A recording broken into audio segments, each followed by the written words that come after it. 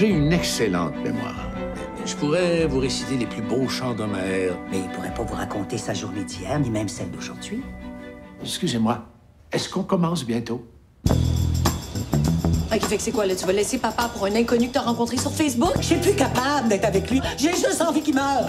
Hey! Regardez-moi ça, comment elles sont belles. J'ai besoin d'un petit répit. Je vais regarder. Tu ferais ça?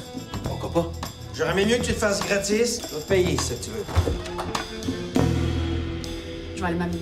Mais là, tu niaises pas. C'est pas n'importe qui le bonhomme. Tu l'as laissé avec ta fille que toi-même, tu trouves pas fiable! Est-ce qu'on se connaît? Ça fait dix fois que vous me demandez ça.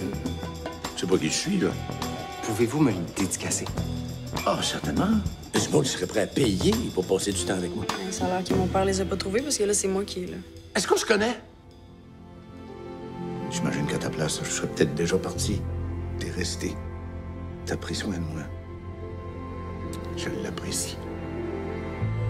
Mais tu comprendras que dans son état, je peux pas le laisser à n'importe qui. vous devez être mal pris en tabarouette, hein? Ah, que c'est drôle. T'as le même nom que ma fille. Ouais, votre fille s'appelle Isabelle. Mais j'ai une autre fille qui s'appelle Nathalie. Nathalie?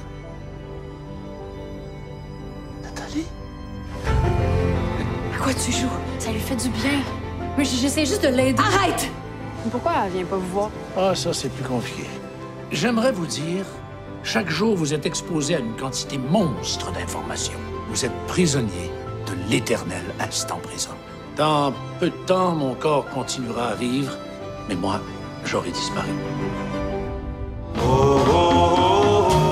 Mon nom est Édouard Beauchemin.